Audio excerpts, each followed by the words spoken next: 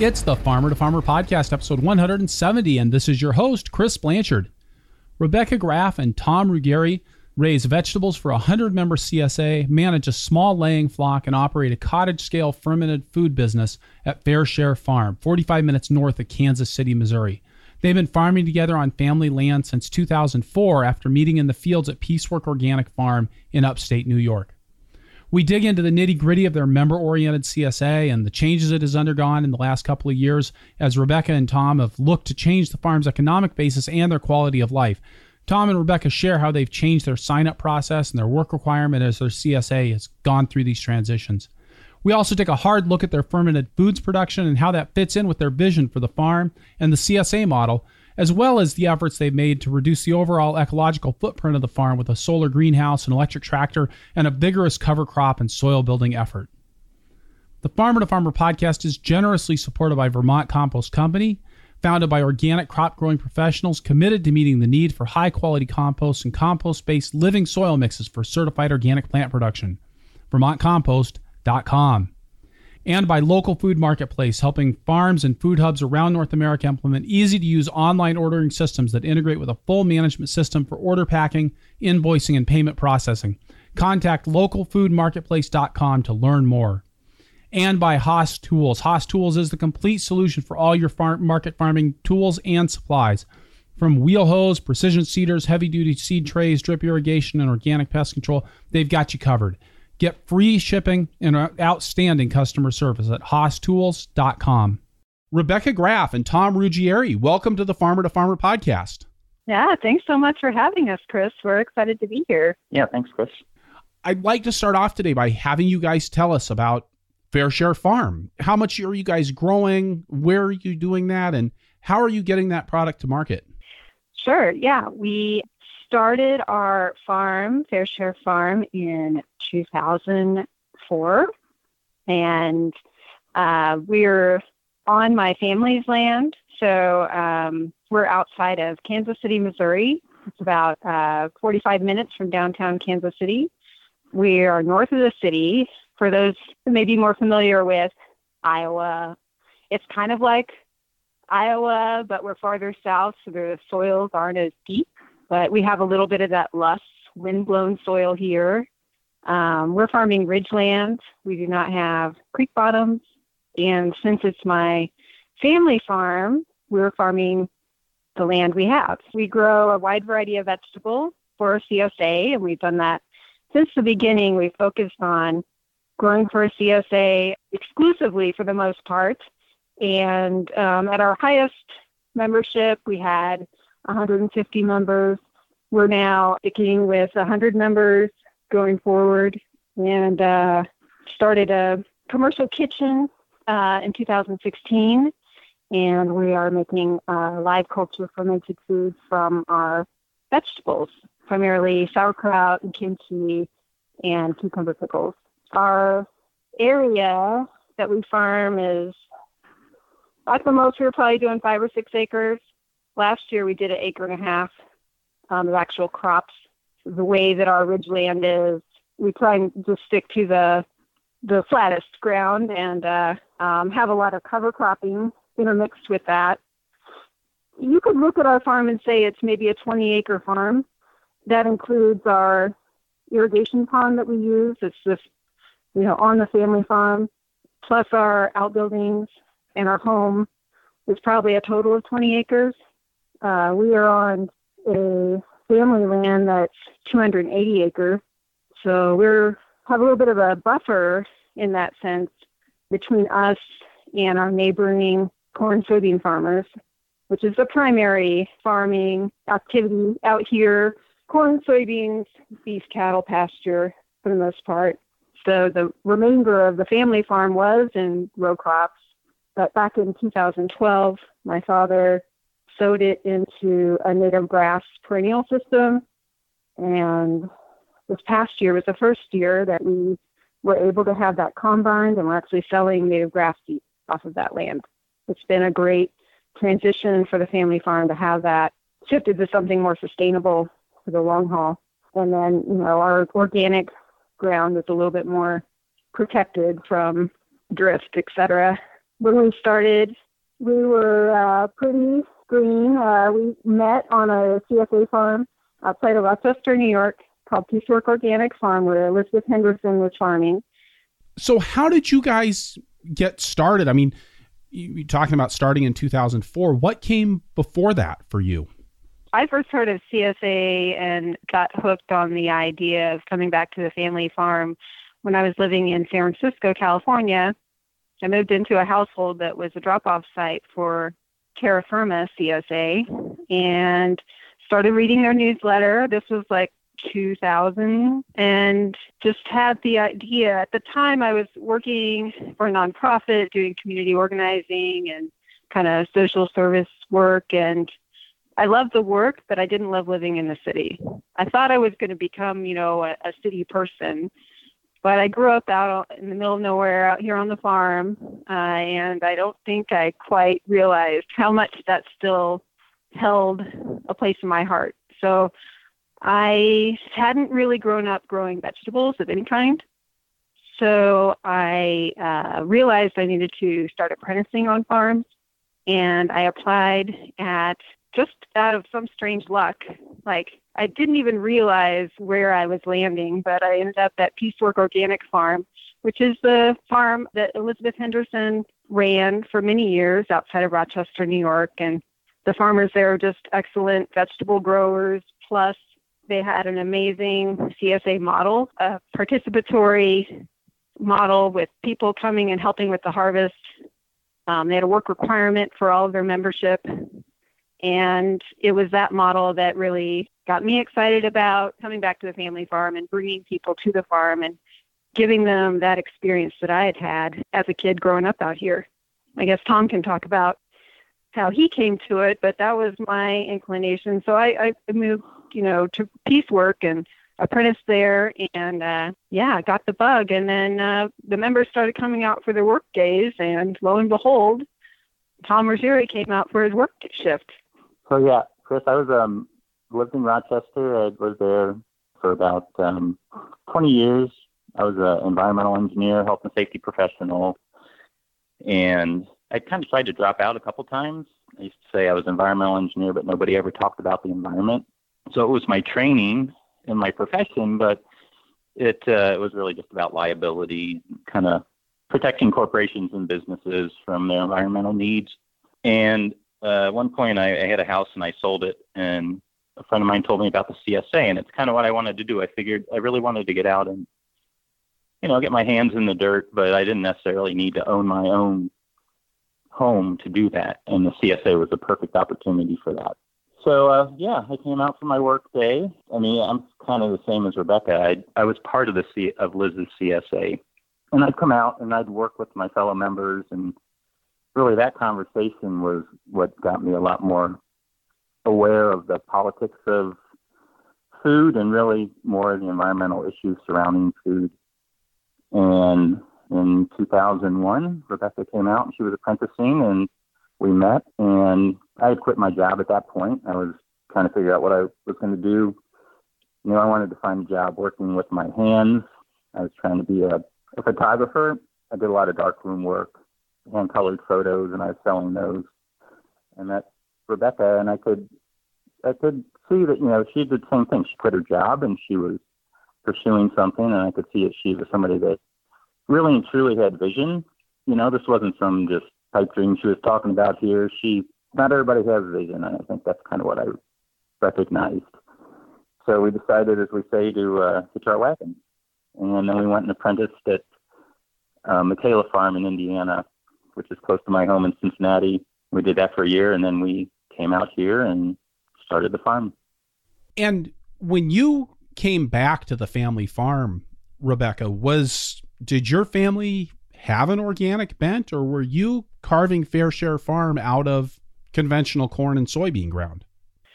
So yeah, the whole farm was rented out to you know neighboring farmers that were raising corn and soybeans, and then there was some pasture that was rented out to some people that had beef cattle.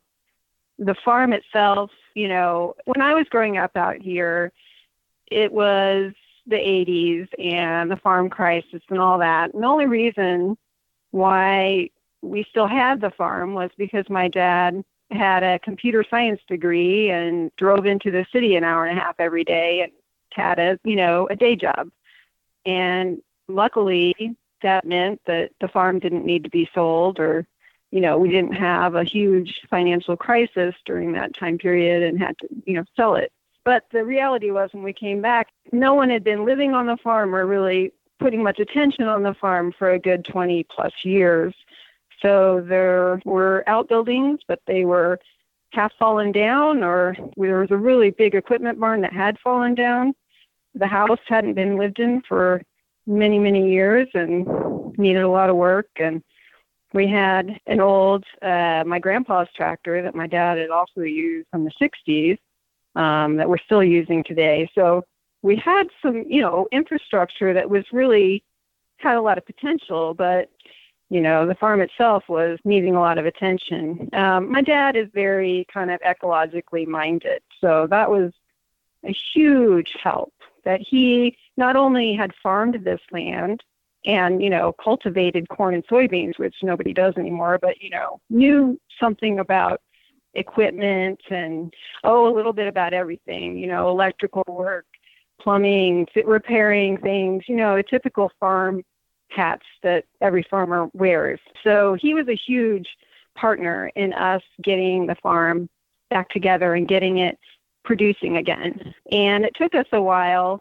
Tom maybe can talk about soils more, but you know, the ground was eh, not in the best shape. You know, I mean, a conventional system, you just kind of kill off the soil life. And there just wasn't a lot of life in the ground. And we were growing cover crops and they wouldn't even germinate. You know, I mean, it was just uh, really the first few years pretty tough going just to transition from conventional row crops to an organic vegetable, you know, system. So how did you guys go about doing that? Because I mean, you're talking about well, kind of two things all at once, which is making that transition from a conventional farming soil, but also working on land that clay soils, right? This is not exactly vegetable ground. Right. Now, I would say, you know, the barn that we are still using today is an old tobacco drying barn. So, you know, our soil, yes, it's definitely ridgeland, and uh, you know, we don't have these nice sandy creek bottom, you know, well drained soils for sure. But we do have fairly rich soils, and we've been able to make them work. And it's not like uh, we wouldn't love to have a bunch of sand underneath our soil instead of clay, but you know we've been able to manage it, and it's kind of over the years we figured out how to do that. You know, we came from our apprenticeships on beautiful creek bottom, sandy soil types. So we didn't really know how to manage our soils until we got here and just started trying. I think that's one of the reasons why, you know, we talked about just the whole idea of like a cottage industry for the farm kind of comes out of that. Our soils are very workable, but it's nice to have a little bit of cushion on the farm finances to also have some value added products coming out of our farm as well so that we're not just relying on one revenue stream to provide for us going into the future. I mean, I think that when we started, we thought we were going to be at a much bigger scale than we are now we thought we'd just kind of keep increasing. I think Peacework had like 300 members when I was there. So that was kind of our model. But then when we started actually looking at the ground and farming the ground, we realized really, you know, 100 members and um, a little bit more diversified income was going to make more sense for our ridgeland that we were farming. Did you start off with the additional cottage industry, or is that something that you added in later? Well, it, it was always kind of part of our vision statement or whatever we call it when we started that Tom, he doesn't come from a farming background. He does come very much from a food background, I guess I would say. His, you know, and you can talk more about that, but he always uh, had a lot of challenge around value adding, uh, making tomato sauce and wine and cheese and cooking. So we always wanted to somehow include that in our farm business, and it just took us a while before we felt like we were ready to make that jump. Yeah, kind of going back to the start, you know, we've focused on the soil pretty much since the beginning. When we were in the Northeast, we'd go to NOFA conferences and you go to those workshops, and you know, this was 15 years ago, and there'd be people talking about the you know virtues of one cover crop versus another, and they'd been doing it for 30 years. So we could see the value of it. And as an environmental engineer, I understood the power of microorganisms.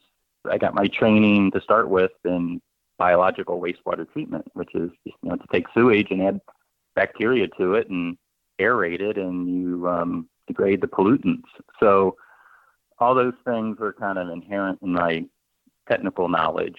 And when we started here, like Rebecca said, the soil was quite dead to the point where we were having trouble even getting the cover crops to really grow at first. So we had to do a lot of mineral additions and liming and cover cropping.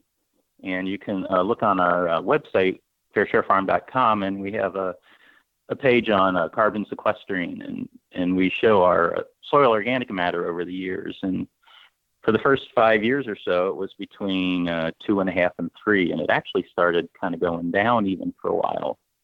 Because it took us a while to reestablish the infrastructure for the microorganisms in the soil and then actually build up the population to boot.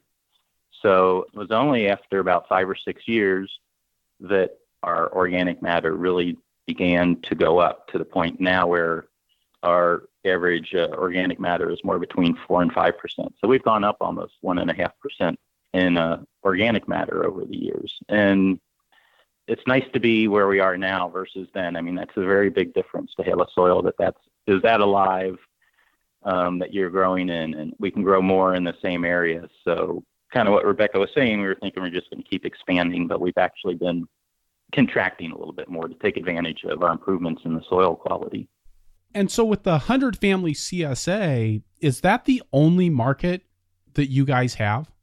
Yeah, the kind of cottage industry Rebecca's talking about. So a couple years ago, we had 150 member CSA, and it was every week we had extended season two. So we had 31 weeks where every week we had shares. And after what amounted to 13, 14 years of that, we felt that we really needed to take a break. So last year, we went to 100 shares every other week. So it's more of a 16 week season. And then we started focusing on our ferment business. In 2016, uh, we finished construction of a certified kitchen and we prepared a HACCP plan, hazard assessment critical control point plan, that allows us to do fermenting.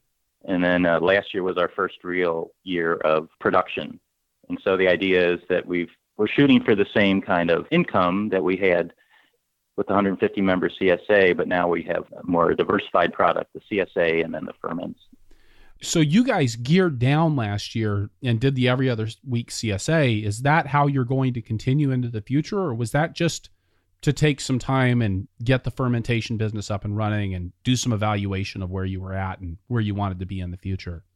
We were really happy with the every other week CSA, and we surveyed the membership and 98% of the respondents were happy too. It was kind of shocking how many people were enjoying it. You know, we were doing two share sizes, and then every week, you know, we were doing a buffet style distribution model where, you know, we're packing 50 bunches of carrots in crates and then saying, you know, carrots take one bunch. Down the line, you know, our numbers pick up out of the crates. So, two share sizes every week for 150 members so anyway, we it was a lot, and we just felt like we needed a break, and we also needed some time to just kind of rethink everything. Like we felt like we were like going on repeat of what we had done the year before, and we really felt like we needed some space to try some new ideas and not take you know such a large amount of money from people that we felt like we didn't have time for anything else. We just needed to focus on you know making sure we had you know shares every week. So anyway, it worked out great. You know, we called it a sabbatical. I think we put a blog post up in September of that year uh, where we were starting to think about it. The, the term sabbatical isn't quite what ended up happening, uh, but just the the space of having a week off was just really dramatic for us. And um, you know, we were able to travel a little bit in the summer leave the farm, we were able to have some time for the ferment business to get that up and running for sure. We have a flock of, oh, 70 chickens. So just doing some of the work associated with the chickens, that was really helpful to have a week off so that we're not trying to figure out what day of the week we can move the chickens that we're not going to be like harvesting right after that. You know, from a food safety perspective, it's really nice to have, you know, get that stuff done and then, you know, don't go harvest spinach, you know. So it really seemed to work better for our model that we were developing with more diversity of products and um, and the membership has really been supportive. We didn't advertise during that year for any new members coming in, so they were pretty much all um, our existing membership is who signed up, and we told them up front, you know, we weren't sure how it was going to go. It was a little bit of an experiment. We were reducing the amount of crops we were growing as well, so trying to focus on the favorite crops a little bit more and get rid of some of the uh, less liked crops, but also crops that didn't grow as well for us. So, you know, we're not growing melons and winter squash, which in our climate is a real battle. Uh, we have so many generations of squash bugs and cucumber beetles in our climate that Eh, you really have to struggle to get melons and winter squash. So we took those crops out. I know your your favorite kohlrabi was not planted. yes. So we just tried to, you know, simplify things and streamline things. So we did one share size. People had two weeks to get through it all. So that seemed to work for everybody. So it made our lives easier. I think we made our members' lives easier. We scaled back on the work requirement. So we haven't talked a lot about that yet, but you know, when we started farming here, we pretty much took Peacework Organic Farms CSA model and tried to import it to our location. And for the most part, it's been great. And our members have loved it. It's one of their favorite things about our CSA. We love it. We love having everybody come out. But we had a pretty hefty work requirement. So for a full share, you had to do three farm shifts from 8 to noon on a Saturday or a Wednesday morning. So for some families, that wasn't a big deal because they had three plus people in the family and they just brought everybody. But if you were a single person or a couple, that meant you had to come out more than once. So we scaled back on that. We just said everybody needs to come out once, bring as many people as you want, and just felt like we were just trying to allow for flexibility with people's schedules, people's family sizes. I think people appreciate that. And yeah, so so here in 2018, we're planning on, or we are pretty much using the same system that we used last year. We realized we could grow a little bit more than we thought, and the shares are going to be a little bit bigger than they were last year. But otherwise, we're sticking with it. So that work requirement to me is a really interesting part of your CSA because I've reflected before on this show on the difference between what I think of as the two different models of CSA. You know, there's kind of the customer subscription agriculture model, and then there's the really the community supported agriculture model. And it really feels to me like you guys have focused on building that community that supports your farm and part of that is getting people out consistently throughout the season to the farm to engage in real work on the farm. Yeah, definitely. I mean, it helps us. We get each family coming out to help with the harvest. So that means our labor costs are lower. And so many of our members say, you know, I grew up going to my grandma and grandpa's farm, helping them in their garden, and I want that same experience for my kids.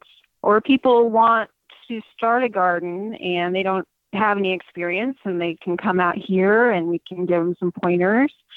So, yeah, it's been great. It's great to see it in action. I think theoretically, like in your mind, if you're out there listening and you're a vegetable grower, you think, oh my God, I'm going to have all these people coming to my farm that don't know what the heck they're doing and they're going to start ripping up my crops. And uh, that is not the case. We have a very controlled environment for our membership when they come to help us. We are always supervising them, and we only allow them to do certain tasks that we feel are, you know, the lowest kind of skill set required. So they're not picking tomatoes for the most part. They're not picking peppers. things where you kind of have to decide on ripeness and where the plants are more fragile. You know, they're helping us make kale bunches. They're helping us pull carrots out of the ground, digging sweet potatoes, and definitely helping us with high labor crops like peas and beans. It used to be cherry tomatoes, but we stopped growing cherry tomatoes. So there's that, and then we also have, you know, a wash area, packing room where they help wash the lettuces, all with supervision, all with food safety talk first. You know, they bag up beans for the shares. They clean garlic, clean onions. There's a lot of different jobs so people can sit down and clean onions or garlic if they're tired or if they have a bad back or something like that. So it works really well as long as you kind of have the parameters pretty strict to begin with and you don't have them do things that is, you know, beyond what somebody coming from the city that has never gardened before could be asked to do. We mulch, you know, we like to put hay or straw mulch sometimes on some of our crops. And that's a low skill job. I mean, you know, some people are faster than others, but, you know, people pretty much understand how to put hay or straw around a crop. Sometimes they put it on too thinly and you have to tell them to put it on thicker. So it's just a matter of being out there with them. Usually I'm in the packing room overseeing the washing and packing and Tom's out in the field overseeing the harvesting. And then we have, you know, other employees that are around to kind of keep an eye as well. So not a lot of knife work, mostly hand labor and mostly pretty straightforward activities. Yeah, sometimes we do a lot of head lettuce.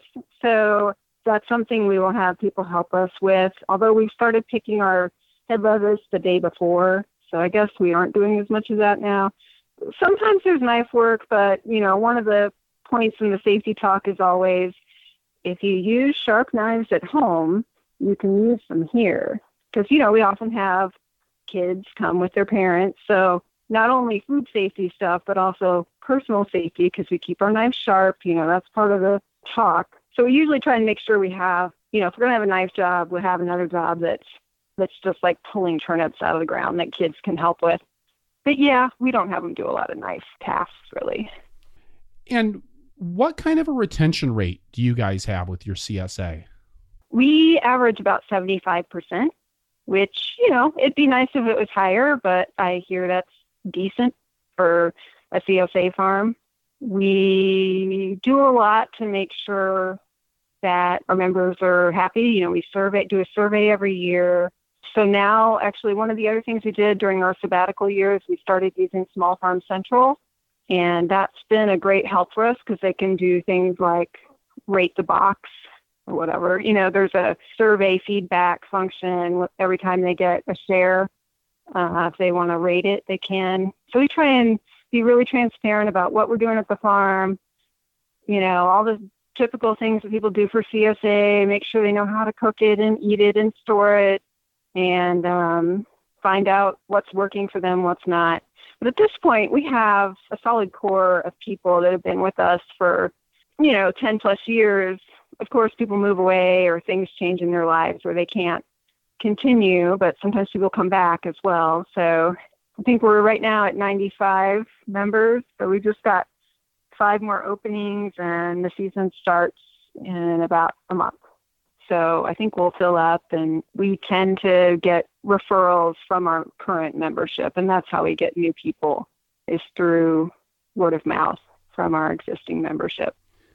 It's interesting to me that you've moved to an online sign up because if I remember right, a number of years ago when you and I talked together about how to run a CSA, you and I taught a class somewhere. I can't remember where, but you guys were doing a much more elaborate in person sign up system at that point. Yeah, yeah. So, Chris Blanchard, we did the CSA mini school at the Great Plains Growers Conference in St. Joe, Missouri. Thank you. And Elizabeth Henderson was the other speaker. And we were, we did that for about five years. Tom and I would bring in different CSA farmers to our little farming conference in St. Joe. And um, yeah, it was great to have you participate in that. And then I think we were at Practical Farmers of Iowa one year. That seems right to me. Yeah. Yeah. For years, we had this in person sign up meeting, which is totally based on the Peacework model. I, I don't know what they do these days with the high tech options that are out there now. But you know, everybody comes usually the first day of spring. It's kind of a way to celebrate the start of the season, and they fill out their contracts and you know meet the partner vendors because we also have kind of a whole diet CSA option with our partner vendors that provide meat and cheese and other products. So anyway, it was kind of a big event for us, and for many years we would bring it up to the core group and say, well, do we want to try and go online? Is that something we want to do? And every year they were like, no, we love having the in person kind of party to start the season. But last year they were like, well, you know, it's a lot of work. You got all this paperwork that you're making photocopies. It just seems like it was getting a little out of date. So we decided to go with Small Farm Central, and really, we've been very happy. The members are all coming out to the farm, so we still get to see them. They get to interact with each other when they pick up their share, and you know, we have a distribution team at each pickup site, so they kind of organize themselves, and you know, there's still a lot of community going on without that in-person sign up, and it's allowed for us to accept, you know, online payments, credit cards through PayPal it has allowed us to have a more efficient, what we call our bulk list. So we will, because we only grow fresh produce for the CSA and we don't take stuff to farmers markets or other outlets, we would have extra stuff. There was stuff beyond what we needed for the shares that week. And so we have have had for many years this email system where we would email out what was extra that week and people would email us back saying what they wanted, which was cumbersome. And we would also often miss orders or there would be confusion or just kind of hard to manage. So Small Farm Central has a, a way to have kind of an online store where people can do that and it's a much better system as far as keeping track and people can make payments there instead of, you know, leaving cash at the distribution site that then we have to kind of figure out, well, who left that, you know. So uh, it's it's definitely improved. And you don't feel like it's taken away from the sense of community. If the online sign up was the only chance people had to kind of interact with each other or interact with the farmers, maybe that would be the case. But because we have this work requirement and we have like a very interactive distribution system model, plus we have a picnic at the farm in the fall, there's a lot of opportunities for people to have that community feel without the in-person sign up. The other thing, you know, with the community is just all the involvement that our membership has. You know, we have the core group that coordinates a lot of stuff, and then all these distribution captains. So there are, you know, kind of people uh, working on the CSA kind of the whole season through. So yeah, it's a great model.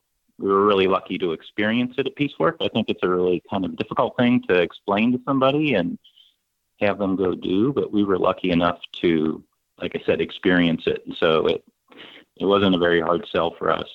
And then are you marketing through other outlets as well, or is everything that you do going through the CSA? All of our fresh produce is either going to the CSA or we are growing crops specifically for the kitchen. So cabbage, Napa cabbage, carrots and onions and cucumbers you know, we're growing more of those crops so that we have them for the ferment. But otherwise, we go to a winter farmers market and sometimes we will bring leftover potatoes, beets, carrots, things that are in storage after the CSA season is over.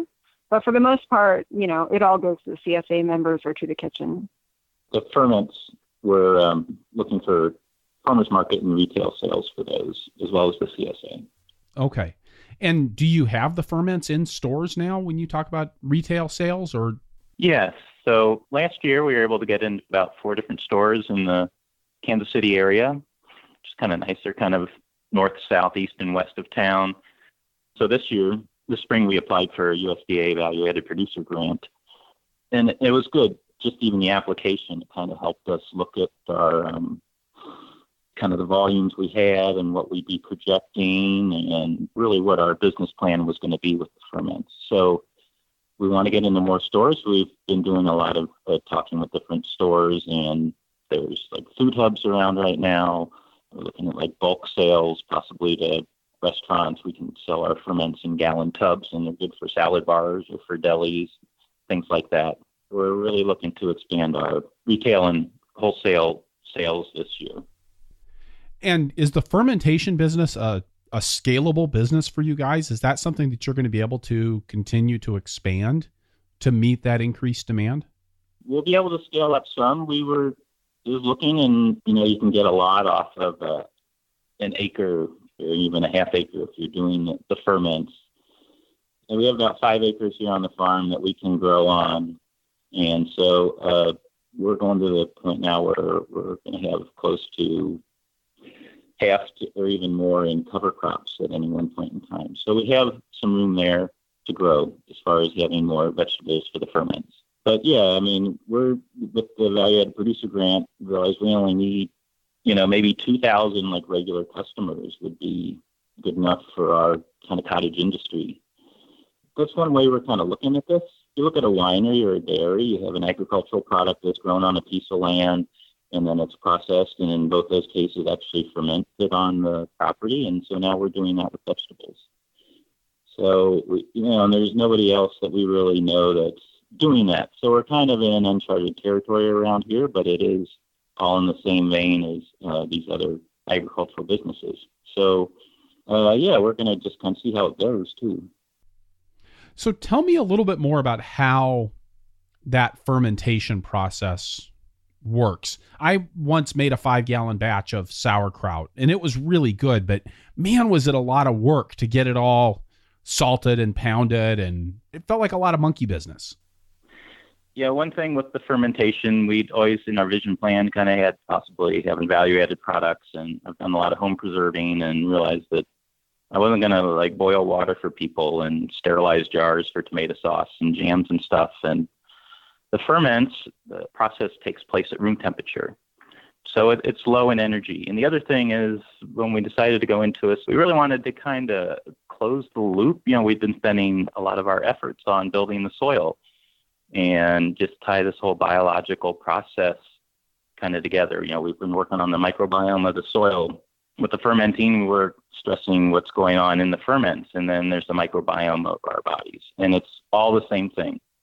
So since we've been doing it, even it's like we eat the ferments all the time. We can almost, you know, kind of feel the the positive benefits of that. As far as the difficulty of doing it, it's a little tricky, but uh, you know, we have we bought a new cooler, so we have a good place to store crops like cabbage. You can you can hold those until you need to to work on them. It's neat having a kitchen with no stove, you know, and that was kind of different for the for the health department. They have a kitchen with no stove. There is some equipment you can buy to help chop the vegetables. We use a lot of um, five gallon, seven gallon food grade pails, so we've developed a pretty good system, I think, to to kind of have a quality control over our product. Another part of it is the whole idea that as as we get older as farmers, maybe half the day could be in the kitchen instead of out in the field. So it's a way to kind of balance our lives at the same time. So tell me about the actual physical process. What do you go through in making a batch of sauerkraut? So like sauerkraut, we grow the cabbage. You know, when we promote our product, we say, you know, that's the first step of our recipe is raising the vegetables. It's very important to us. You are what you eat, so you are what your plants eat. So we try to stress to people we've been building the soil on our farm for 16 years, and the flavor and the nutrition that you taste in our product really comes from our growing practices. So we'll harvest, say, the cabbage, we'll store it in our cooler, and then when we're ready to make the kraut, we'll we'll take it out. You kind of trim the end and take off the outer leaves. You core it and quarter it, and then we have a like a drum shredder. It's a hand crank, and you just put it in that and crank away, and you've got this shredded cabbage, and then you add salt and put it into a, a bucket and make sure it's submerged in the liquid. That's one of the important things about fermenting is making sure that it's anaerobic, that all the solids, all the vegetables are below the level of the juice that gets extracted, and then monitor it. In case of sauerkraut, it's about it's a good month at about room temperature and you measure the pH. That is the kill step. So for the hazard, uh, the HACCP plan, the main kind of parameter that you want to look for for food safety is the pH of the sauerkraut. So it can start out at somewhere around five or so, and then it'll usually, by the time it's done, it's down close to 3.2, 3.4, somewhere in there, which is 10 times more acidic than it needs to be. And then once it's um, the fermentation is complete and it's relatively stable, we put it in our cooler. And then when it's time to sell it, we'll take it out. We'll fill labeled jars or the one gallon pails, and then we'll put it in a, another cooler we have that's uh, cold and dry, so the, the boxes and everything stay don't get all damp, and it's ready to sell. What other products are you guys fermenting for sale? So we also make kimchi, which is a little more complicated. It's, it has more ingredients, and so there's more chopping. We have two types of kimchi. We have what we call a regular kimchi, which is made with mainly with napa cabbage, and then a green kimchi, which we make with bok choy and tatsoi. So those we have to buy ginger and organic ginger and organic paprika. But other than that, and the and the salt that we buy, which is Redmond sea salt out of Utah, it's a pink salt. Those are the only things that are not raised on the farm that go into our jars. So our jars have over 95% product just from the farm. Then we make a uh, jalapeno dish, jalapeno and escabeche. It's a traditional Mexican recipe, and then uh, cucumber pickles. Those are what we're working on now. There's more products that we could possibly make in the future. Daikon, radishes. You can make pickles out of that and some other things. But um, you know, like I say, you made kraut once. It's we feel good. We have a year under our belt because you can make a bucket of something that's really delicious, or like a bucket of mush. You know, it, it's easy but hard at the same time to ferment. So, growing all the ingredients, it's really helped us in our quality step. In doing something that's well, I'm just going to go with the word weird from a food processing standpoint. I mean, you know, usually when we talk about a kill step, it's like pour in the vinegar or heat the thing up. And I can imagine that your county health department must have been a little bit confused by I want to ferment and sell things. Yeah. You know, if anybody's been in food service, you know that leaving something at 70 degrees for more than four hours is a no no, and we're leaving things at that for a month. You know, and I've taken a lot of food safety classes, and they never even mention fermentation. So, you know, it's kind of frustrating having to get these certificates and they don't even talk about what it is we're doing. But it's an ancient, it's one of the oldest forms of food preservation that there is. So it's weird to us in modern society, but it's really fundamental to civilization's existence to be able to store food naturally. You know, we try to, you know, it's a live culture, so we have to refrigerate it after we make it. So it's a probiotic you know, it's really a missing link in many people's diet. You know, the thing about you know the soil, the soil and plants, it's a co-evolved symbiotic relationship, right? Plants and soil microorganisms, they grew up together. They have a long-term relationship. We're the same way with the bacteria in our digestive system. You know, they're they're not just any microorganisms. They're they're what we co-evolved with and have a symbiotic relationship with. And so we're tying all that together. So, from a health standpoint, that's an important part of our product. Another is the flavor and nutrition. Our sauerkraut is just our cabbage and salt. So, all the flavor that is in that is really from our soil building. And I think most people know if something has flavor naturally, it tends to really have more nutrition, all those flavonoids, and not MSG that's giving you the flavor, it's the actual vegetable. And it's a biological diversity any biological life survives best when there's a lot of diversity. So it helps to incorporate more diversity in your lives. And you know, the other thing that we're trying to stress to people is um, that in doing all this, we also are um, taking carbon dioxide out of the air. On on the lid of our jars, we say uh, carbon was sequestered making this product, and we feel that's real important for people to know. I mean that you know, when you talk about a value added product, that's one of the values. We uh, can measurably say that we are reversing climate change by growing our vegetables and making the products that we make. And we think that has a lot of value, and we want people to understand what that value is. Yeah, and Tom did this whole calculation, which you mentioned earlier, with just the organic matter that we've increased in the soil. You know, and then you did a calculation based on our energy use on the farm. We purchase uh, wind energy credits from our local rural electric co-op. And so, you know, if you calculate our energy use on the farm and um, look at the organic matter improvements, we're on the positive side of, of sequestering carbon. That's kind of where all that statement that we're, you know, sequestering carbon comes from. Got it. All right.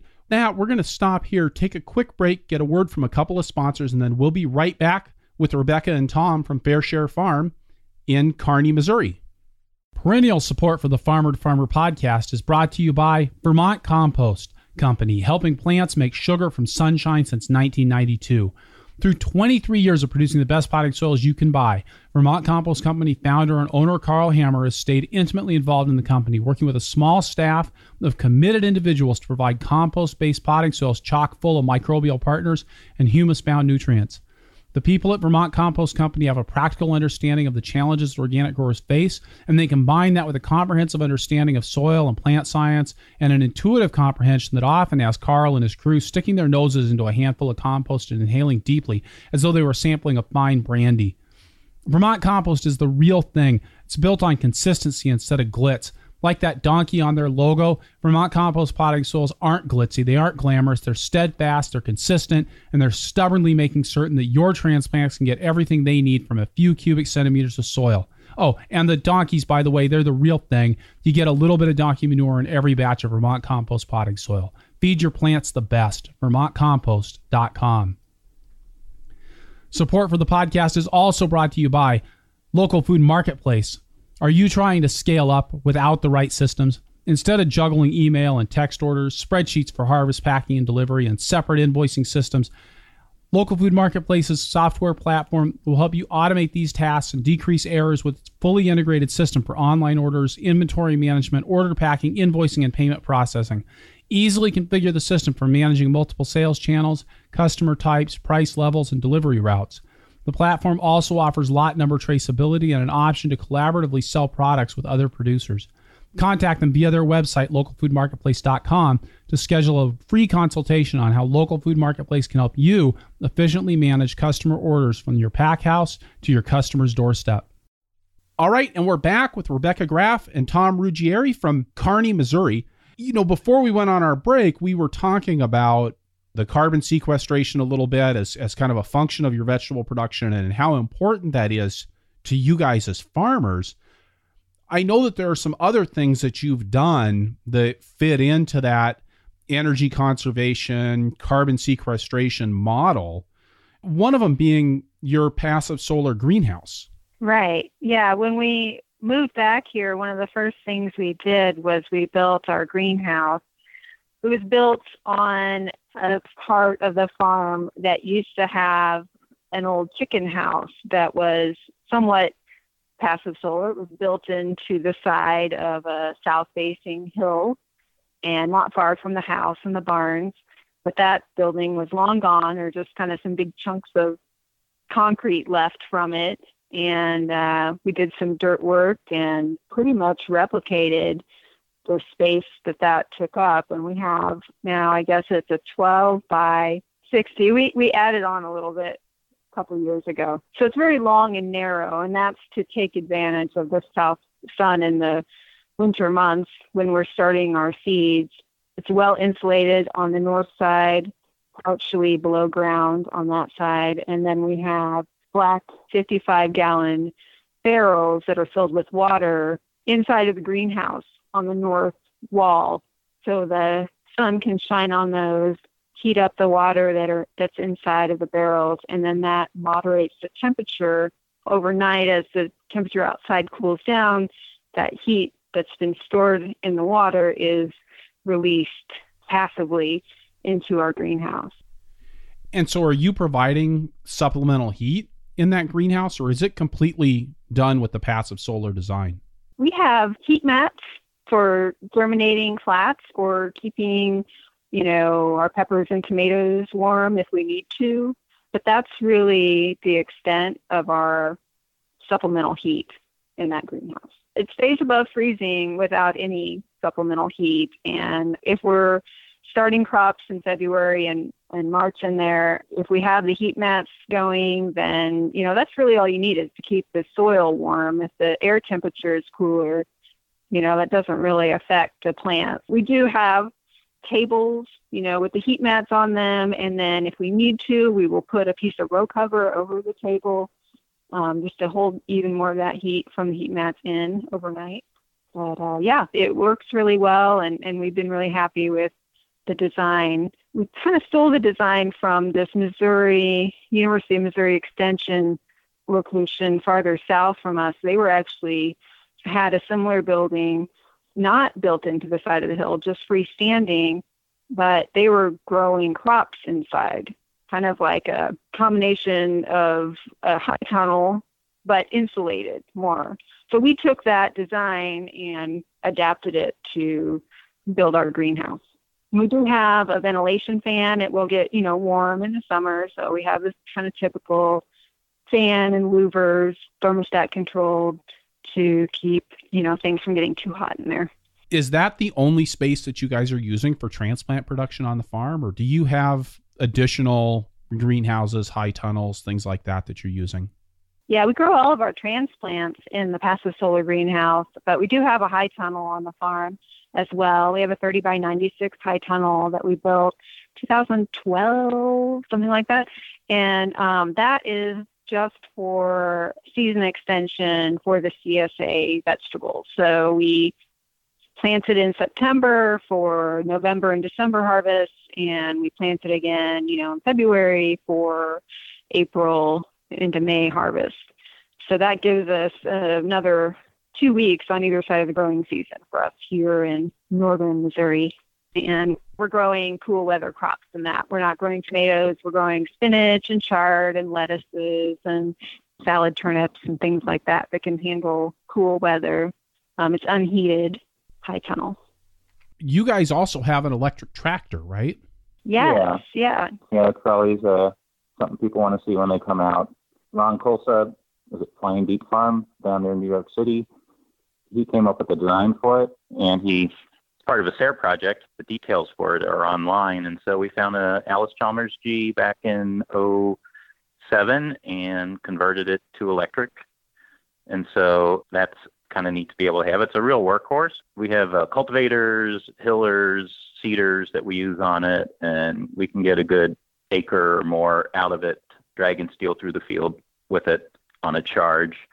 We have a solar powered irrigation system. We have a pond, and there's like a a well pump in it, and we have about a kilowatt worth of panels, and so that's on demand. We can turn that on, and that supplies all of our irrigation needs, totally off grid. Yeah, like Rebecca said, our we pay two and a half cents extra to our electric co-op to be on their green power program, and we get renewable energy credits for that. So the tractor is being charged through the grid, and so it's kind of being charged on wind power. So all those things together, they really help us. We've done a little kind of annual CO2 emissions from the farm, and uh, so our electrical, we don't have any emissions associated with anything we plug in. We have about, we figure about 20,000 pounds of carbon dioxide just from all our vehicles, and then we have uh, propane for hot water, and then we sequester a good 50,000 pounds of carbon dioxide through our cover cropping and farming practices. So over the last eight to 10 years, every year we've had a negative carbon footprint. So, you know, it's been neat to kind of started looking at this a couple years ago, kind of drawing on my environmental engineering background. You know, we have all this data and numbers and to really look at it. And it's nice to be able to have some type of quantification of that. So tell me a little bit more about the cover crop rotation that you're using, since that seems to be a very important part of your carbon sequestration plan? It took us uh, several years to kind of figure out the best crops to grow here, the best way to seed them. Buckwheat kind of took root the best when we first started, but it really doesn't add a lot of organic matter. But it was, you know, started giving us good kind of practice. What we tend to do is we'll grow uh, peas and oats in the spring. We use uh, sorghum sudan grass and either cowpeas or sun hemp in the summer. And then sometimes we'll do some peas and oats again in the fall if we want something winter killed, or or we'll use rye and vetch. So you know we don't really double crop anything, and so every year we try to have every bed that we use either get a cover crop or get mulched or get compost or have chickens on it or have uh, organic fertilizer put on it. So in general, we cover crop, oh, two or so acres, maybe two and a half a year. So that's kind of been our plan is to put cover crops in whenever we can. The summer, the spring crops come out, you know, the broccoli or whatever is done in, in June and we plant Sudan grass and cowpeas and then we turn that in. We usually turn it in kind of late in the year, September or so, and um, let it decompose some. But then, you know, there'd still be residue underground in the spring, and and then that would kind of help add some some nutrients and life to the soil once the soil warmed back up. And how are you getting those cover crops seeded on a farm that's your scale? Because it seems like you guys are a little bit on the small side for a drill. Yeah, you know, we were looking for a drill. We were part of a, a SARE um, roller crimper project. So part of that was going to be to get a drill, and we couldn't find one around here. We actually then ended up buying like a vegetable seeder for a row and kind of going back and forth with that twice, and that didn't work very well. And it turns out for us, what seems to work the best is just to broadcast seed with like an earthway and then harrow it in. That can even help. It's almost like one extra little bit of stale seedbed, you know, harrowing before right when the crop goes in. So that's what we've been doing. And yeah, we're you know, we're a smaller scale farm and it really doesn't hurt to walk the fields anyway while you're doing that. So that works well for us. And then tell me a little bit more about the growing setup that you have at your scale of operation. How are you going about getting the soil tilled and getting the crops into the field? We have a spader, which we've had since our first year or so. So that's our primary tillage piece of equipment. But, you know, Tom handles most of the bed prep and he's really gotten away from doing a lot of spading. He tends to use the spader for incorporating cover crops. And then once that's accomplished, we're using our cultivators to kind of break up the top of the soil and then we have two discs on a toolbar that we call it a gutterer. You can also call it a raised bed, you know, bed shaper. We put that on the G, the Allis Chalmers G, and drive that down the bed to create, you know, a little bit of a raised bed.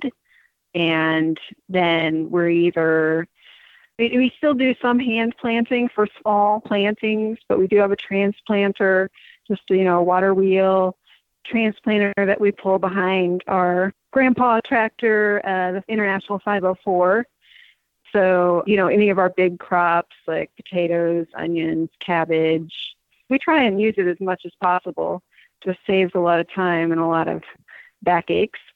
So we use a transplanter for a lot of things. Um, we also have a Planet Junior three row seeder that is designed on a toolbar for the G. So we direct seed our carrots and beets and other large plantings of uh, direct seeded crops with that planter. We still use some earthways here and there. Like we just planted our peas and we ended up using earthways for that. For one thing, we were training apprentices, so it's a good experience for them and it's just easier than kind of reformatting our three row seeder to become a two row close together feeder for what we want for the peas that need to be trellised. So we tend to grow, plant two rows kind of close together for that. I think that pretty much covers it. You know, we've experimented with other seeders. We would love to not have to thin carrots. And so uh, two years ago, we bought a Jang, just so, you know, a push one row walk down the bed, push it, jang, and we have not gotten it to cooperate. I don't know if it's our soils or what, but we have had horrible germination with it. We probably need to talk to the jang rep, but we've kind of gone back to using earthways and uh, sticking with our Planet Junior seeder because every time we use it, the carrots come up great. They don't come out perfectly spaced, but they come up. So that's pretty much, you know, our, our, our planting methods. And then depending on the crop, how much, you know, attention it needs after that kind of depends. But last year, so part of our sabbatical, if you can call it that, was also to move towards this idea of planting half of the ground in cash crops and planting half of the ground in cover crops. And so we started doing that last year, and Tom spent a lot of time on the cover crop areas doing cultivation before we seeded them to really get some of the weeds under control. So we're hoping that that's going to really be a great benefit to the farm down the road to be able to have that time to really do the stale seed bed method where we get rid of a lot of weed seeds in our soil. Because the first few years you know we realize now we were just planting way more than we could manage. And um, the 15th year we're coming on now we're finally figuring some of that out. Like we need time to get those weed seeds out of our soil before we plant. So kind of going to more of what I would call a, a Nordell style rotation. Yeah, and you know there was a year at Great Plains where I think the Nordells were there, and then uh, Henry Brockman from uh, I forget the name of his farm. He was part of our CSA mini school, and there might have even been some other farmer from New Jersey, and they were all doing the plant half of it in cash crops, plant the other half in cover crops, and it just kind of blew us away. It took us a few years to really figure it out that we could do that here. But yeah, we just, you know, it's hard for us to come up with the amount of compost that we would need to not do that. We've always relied on cover crops for a lot of our fertility. We introduced, you know, laying hens to our farming operation a few years back, and that has helped. But we're still relying on the cover crops to really provide the majority of our nutrient needs. So, yeah, we're really excited about shifting to that, yeah, Nordell model as far as cat. And it's also good for, you know, I've been working a lot on kind of creating insectaries for beneficial insects. And I mean, there's so many benefits to having flowering crops near your cash crops to bring in those beneficials that really reduce the pest pressure. And have you guys seen a difference since you've started planting those insectary plants? Yeah, last year we spent some time putting in an insectary within our blocks. We started using one of these silage tarps. So it's 100 by 50 feet. And within that, we can get eight beds and then like kind of a half bed. So that half bed becomes an insectary. And um, we saw a lot less caterpillar damage in our tomatoes. Sometimes we get a lot of those fruit worms in the tomatoes and there were hardly any. You know, I see those little wasps flying around with caterpillars in their clutches, and it makes me happy. but yeah, I mean, it, it's hard to see it all, you know, because so many of those insects are so tiny, you, you know, you can't even see what's going on. But we saw less pest pressure last year, and we, we're assuming that that was the result of having the insectary in there, and we'll we'll see if it's similar this year you know, one year isn't much to base things on. So I guess I'm still hedging a little bit, but it seems to be working. With that, we're going to turn to our lightning round. But first, we're going to get a quick word from one more sponsor. This lightning round is brought to you by Hoss Tools, the complete solution for all your market farming tools and supplies. Keep your rows weed free with their time tested American made wheel hoes and the best wheel hoe attachments. Their precision seeders have a proven seed plate design for planting a wide variety of seeds, and you can grow the best transplants with their heavy duty PropTech seed trays. And keep your crops healthy with their drip irrigation and fertilizer injection systems. Hoss also provides a comprehensive selection of conventional and OMRI certified pest control products at the most affordable prices. Free shipping and outstanding customer service. Shop online or request a free catalog at hosstools.com. Rebecca, what's your favorite tool on the farm? Well, I have to say, our chickens, they do a lot of work for us. They eat bugs, they break down old crop residue. They're a huge amusement for ourselves and for our CSA members that come out to the farm. They do so much work and they don't really look like they're working at all. So, you know, they have a special place in my heart you know, they're kind of fun and amusing as something that you can't apply to very many tools. I mean, it's not like you you don't look at the hose hanging on the wall. Go, oh yeah, it's a fun. Thing. Tom, do you have a favorite tool on the farm? Well, I think it's starting to be our um, sweep cultivator. You know, we were just talking about the stale seed bed, and it's something that can uh, really get in there and clean up the bed well for us out of all the cultivators that we've tried. So I'm starting to like that. When you talk about a sweep cultivator, is this something that you're running behind the tractor as a as a stale bedding tool, or is this something you're running underneath the G as a between the row weeding tool? It's behind the tractor, and then you know it's nice because it's more of an undercutting tool. Some of the other cultivators we've had, you know, it hits a weed and just kind of goes around it, whereas this, you know, we've even had like dock be pulled up by it, and so it's a pretty hefty tool. You know, we're trying to do more shallow tillage. That was the other thing. You know, talking to Nordells, you know, the shallower we can cultivate, the better too. And so, using kind of when you talk about a sweep cultivator, then these are these are wider sweeps that are maybe mounted on a C shank that hooks up to a toolbar. Yeah, you know, the big V shape flying V type sweep. Rebecca, what's Tom's farming superpower? Okay, let's see here. You know, he loves growing cover crops. I joke that he loves growing cover crops more than he loves growing cash crops. But he puts a lot of energy and time and attention into making sure he gets a good seed you know, germination and he gets out there when it needs to be mowed down. And, you know, it's great to have that energy going to that step because it's such an important step on our farm. Super cover cropper, I think, be his title. And Tom, same question for you. What's Rebecca's farming superpower? I think she's a, a really good uh, listener. So, you know, she can, whether it's um, the chickens or our animals or the plants or anything, I think she listens to them well and to have an understanding of what's going good and what isn't. And she'll even talk to them. So I think it's her communication skills with kind of all the living things on the farm. Rebecca, what do you talk to the plants about? Oh, I don't know. I, I would love it if they would talk back to me, but it's usually a pretty one way conversation. But, um, you know, they talk by the color of their leaves and, you know, how well they're growing. So they communicate plenty of information with that, actually speaking, of course.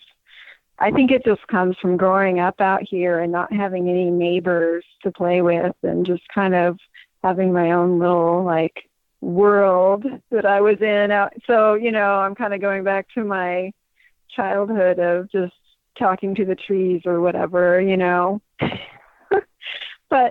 yeah, I talk to the chickens too, and I just kind of warn people when they start working with us, you know, that I'm going to be talking to inanimate objects, and don't worry, I'm not insane. Food safety training, inanimate object talking training. You just kind of make sure that people are ready for their farming experience. Rebecca, if you could go back in time and tell your beginning farmer self one thing, what would it be? Oh, I would say try not to grow more than you can handle. I guess it's hard to tell myself that when I started because I thought we were growing what we could handle at the time. But, you know, I think we just tried to do too much at the start and we were only kind of fixing those things now to where, you know, we're at a scale that we can manage. So, yeah, grow slower or be more deliberate with your crop choices. Grow what grows well. I guess that's three things, but, or at least two. But you could make it all into one sentence, so we'll let it fly. Tom, if you could go back in time until your beginning farmer self one thing, what would you say? Yeah, I think it'd be to um, get some laying hens to start the farm. We've really enjoyed having the hens. The farm fresh egg is, you know, really the perfect food. I think it's really healthy to have around, and working them into a vegetable rotation has just been really helpful for us. And like with the CSA, you know, we tend to be just vegetable farmers, and I like to say that you know, you get some chickens or something, it adds some EIEIO to the farm, which is nice when you have members come out with their kids. And it's just one more thing to have out here to, to show people what raising food's about. Tom and Rebecca, thank you so much for being part of the Farmer to Farmer podcast today. Yeah, thank you for having us. It's such a great resource for farmers, and we feel so honored to be a part of it. Yeah, thanks, Chris. It's been great to talk to you, and thanks again for doing this. All right, so wrapping things up here, I'll say again that this is episode 170 of the Farmer to Farmer podcast. You can find the notes for this show at farmertofarmerpodcast.com by looking on the episodes page or just searching for Fair Share. That's F A I R S H A R E, Fair Share. The transcript for this episode is brought to you by Earth Tools, offering the most complete selection of walk behind farming equipment and high quality garden tools in North America. And by Osborne Quality Seeds, a dedicated partner for growers. Visit osborneseed.com for high quality seeds, industry leading customer service, and fast order fulfillment. Additional funding for transcripts is provided by North Central SARE, providing grants and education to advance innovations in sustainable agriculture. You can get the show notes for every Farmer to Farmer podcast right in your email inbox by signing up for my email newsletter at farmertofarmerpodcast.com. If you like the show, please head on over to iTunes and leave us a review. You can also talk to us in the show notes. You can tell your friends about us on Facebook. We're at Purple Pitchfork on Facebook. And hey, when you talk to our sponsors, please let them know how much you appreciate their support of a resource that you value. You can support the show directly by going to farmertofarmerpodcast.com slash donate. I am working to make the best farming podcast in the world, and you can help right there. Finally, please let me know who you would like to hear from on the show through the suggestions form at farmertofarmerpodcast.com, and I will do my best to get them on the show. Thank you for listening. Be safe out there and keep the tractor running.